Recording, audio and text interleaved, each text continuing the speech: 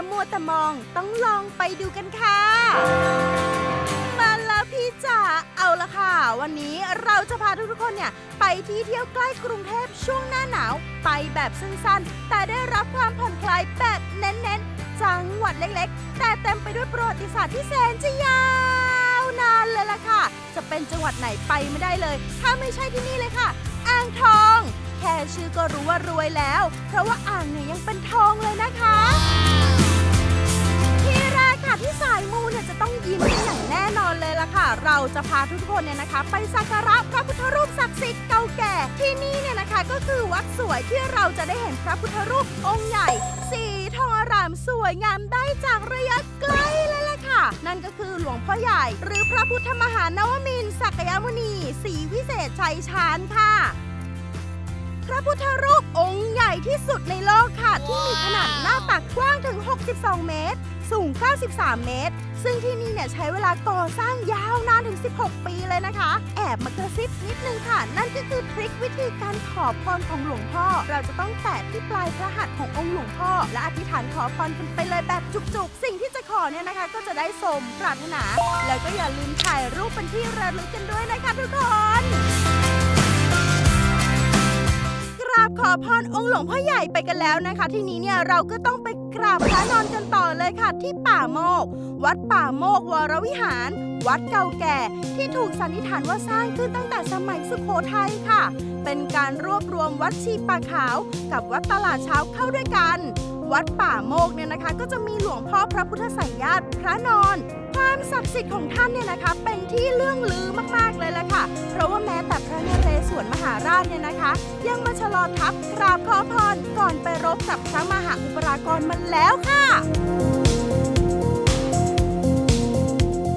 ไหว้พระรับพรกันจนได้รับบารมีแบบล้นล้นจุกๆกันไปแล้วนะคะ ที่นี้เนี่ยกองทัพก็ต้องเดินด้วยทองใช่ไหมล่ะคะเพราะว่าเริ่มหิวทองก็เริ่มร้องแล้วล่ะค่ะ เรามาทานข้าวเที่ยงกันที่ตลาดสารเจ้าโรงทองค่ะ หรือที่ตลาดวิเศษชัยชาญ ชุมชนเก่าริมแม่น้ำน้อย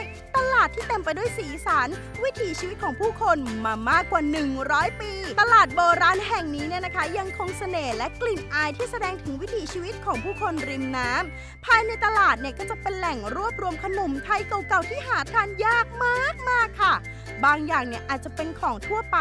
แต่ว่าที่นี่เนี่ยมีรสชาติที่พิเศษมากเลยนะคะ ไม่ว่าจะเป็นข้าวต้มผักหรือข้าวต้มมัดที่ไม่ได้มัด แล้วก็ขนมเกสรลำเจียก ขนมไข่ปลาขนมกลีบลำดวน โดยที่ตลาดวิเศษชัยชาญเนี่ยนะคะ ก็มีคาเฟ่ริมน้ำให้ได้มาถ่ายรูปแบบชิลๆเก๋ๆ แล้วก็ยังมีอาหารไทยรสชาติดั้งเดิม แถมยังราคาไม่แพง ให้ทุกคนเนี่ยได้ไปลิ้มลองกันอีกด้วยล่ะค่ะ อร่อยมากๆ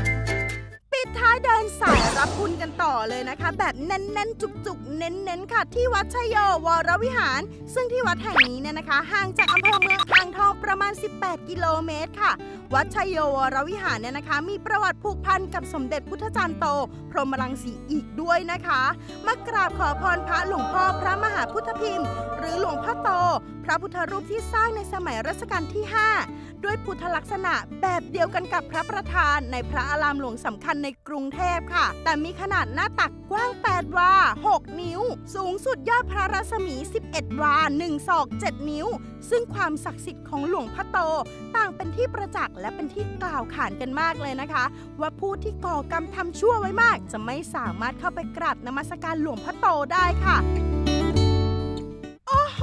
บอกแล้วว่าที่อ่างทองต้องลองมากันจริง ๆ เลยนะคะ เพราะว่ามาแล้วก็คือรับบุญแบบจุกๆ อิ่มบุญแบบเน้นๆ กันไปเลยทีเดียว บอกแล้วใช่ไหมล่ะว่าโมเมนต์ที่ใช่สร้างได้โดยไม่ต้องรอ มาค่ะมาเที่ยวอ่างทองไหว้พระขอพรเก็บเกี่ยวความทรงจำดีๆ ไปด้วยกัน รักนะจุ๊